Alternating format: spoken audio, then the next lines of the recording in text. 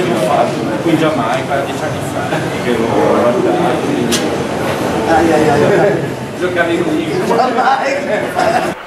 Ma la pulizia è uno dei temi di maggior rilevanza insomma, per, la, per, la, regione perché appunto è una delle eh, evidenze in cui tutti i giorni i, i pendolari e gli utenti richiamano la nostra attenzione. Insomma. Devo dire che Trenitalia sta manifestando un grande impegno per dare risposta a tutte queste esigenze, tutte queste richieste e anche le aziende che sono, sono subentrate insomma, a seguito del cambio dell'appalto, devo dire che manifestano un grande impegno. Insomma ho avuto personalmente modo di visitare anche i cantieri di pulizia, si sono dotati di strumenti, di macchinari, di attrezzature molto moderne che facilitano e aiutano eh, nella, nella pulizia dei convogli aiuta anche il revamping che abbiamo messo in atto nel 2011 e che si sta completando di tutto il materiale rotabile, quindi con la sostituzione di tutte le sedute, con la pellicolatura de, dei vetri, con il rifacimento delle, delle,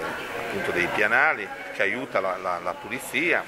e oggi presentiamo appunto questo piano, insomma, questa, questo lavoro, evidenziamo questo lavoro che Trenitalia assieme alle due aziende eh, che gestiscono le pulizie stanno portando avanti, ma vogliamo evidenziare anche un altro aspetto su cui vuole un impegno civico da parte di tutti, che sono le vandalizzazioni, che sono i graffiti, che sono tutti i danni che vengono arrecati ai treni e che nel, nel corso del 2011 sono costati all'azienda ben un milione e mezzo di euro, quindi una cifra molto consistente e che crediamo vada assolutamente ridotta e vada assolutamente risparmiata quindi un invito a tutti a vigilare, tutti a, manifestare quel senso civico che porti a una riduzione, se non addirittura a un azzeramento di questi atti che penalizzano molto la circolazione, penalizzano molto gli utenti, i pendolari, i passeggeri, perché poi insomma, incide sul decoro, incide sulla vivibilità dei treni.